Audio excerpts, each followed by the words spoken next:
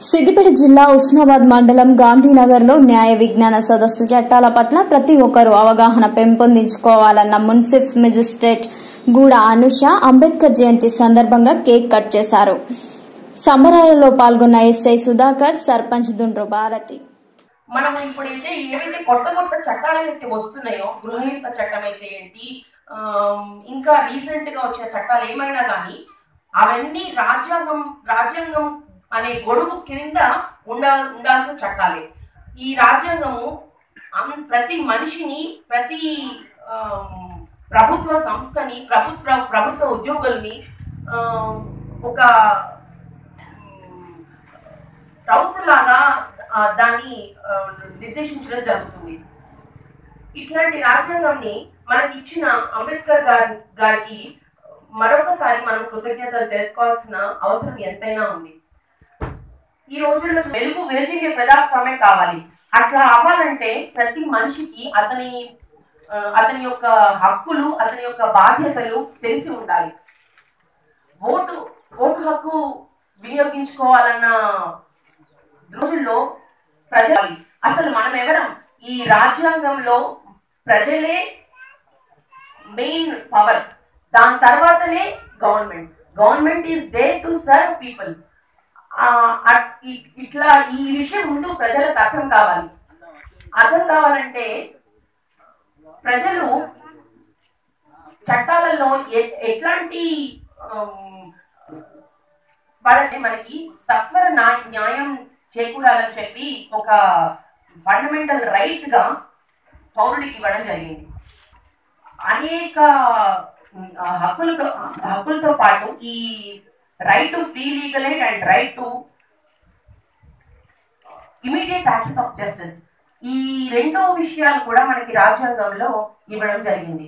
దానివల్ల మనకి ఇచ్చిన హక్కుల్ని మనం ప్రొటెక్ట్ చేసుకోవాలంటే వాటిని పరిరక్షించుకోవాలంటే ఏం చేయొచ్చు? ఒక పౌరుడు ఈ ఇవాటి రోజున ఆయన హక్కు వినియోగించుకోవడానికి అరెస్ట్ చేసిన వెంట ఎవరైనా వ్యక్తిని ఎవరైనా అరెస్ట్ చేసిన వెంటనే గవర్నమెంట్కి ఉంది. కానీ ఇట్లాంటి విషయాలలో ఒకవేళ కనుక వాళ్ళు విఫలమైతే ఏం చేయాలి అనేది రాజ్యాంగంలో మనకి చెప్పడం జరిగింది. మీ మీకందరికీ తెలుసు గ్రామం మండల లెవెల్లో ఒక కోర్టు తన పరిధిని మించి ఒకవేళ కనుక ఏదైనా వ్యవహారం చేస్తూ ఉంటే అట్లాంటి వ్యవహారాన్ని కోసింది ఆ ఆ ప్రతి పౌరుడు హైకోర్టుని కానీ సుప్రీంని కాపాడుకోవచ్చు. ఆమె చెప్పినట్టు ఆయన చాలా గొప్ప విద్యావేత్త అండి.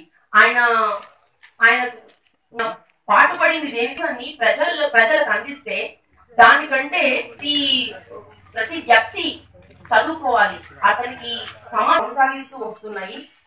మన గవర్నమెంట్ కూడా చాలా నిధులు వాటి కూడా వాటి కూడా ముందర ఉన్నటువంటి అంబేద్కర్ ప్రేమి చరిత అభిమానులందరికీ కూడా నా యొక్క హృదయపూర్వకంలోని ఒక గొప్ప వ్యక్తి గొప్ప మేధావి యొక్క జన్మదిన జన ఉత్సవాలు జరుపుకున్నట్టుగా మనం భావించాల్సి ఉంటుంది. ఎందుకంటే స్వతంత్రం రాక మునుపు స్వతంత్రం వచ్చిన తర్వాత భారత రాజ్యాంగం అమలులోకి వచ్చిన తర్వాత భారతదేశంలో ఉన్నటువంటి ప్రజల యొక్క స్థితిగతులు కానీ మూడు రకాలుగా ఉంటుంది.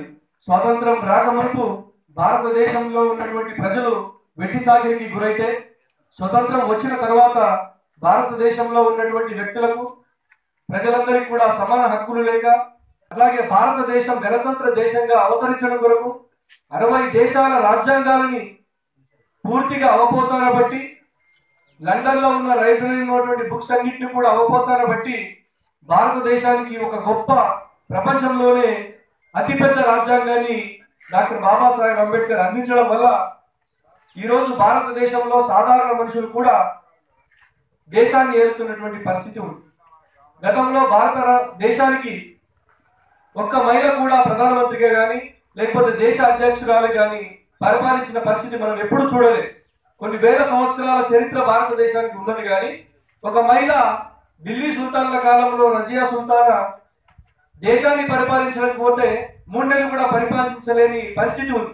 కానీ ఎప్పుడైతే భారతదేశంలో ప్రతి వ్యక్తికి వయోజన ఓటు హక్కు విధానాన్ని భారత రాజ్యాంగంలో పొందుపరిచారో అది పొందుపరిచిన తర్వాత భారతదేశంలో ఒక మహిళ భారతదేశానికి ప్రధానమంత్రి కావాలి అయ్యింది.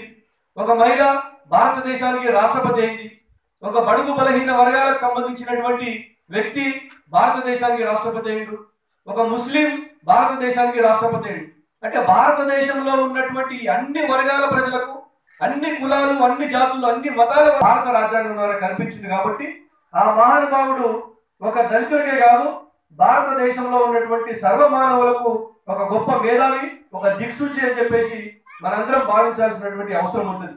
ఎందుకంటే ఈ రోజుల్లో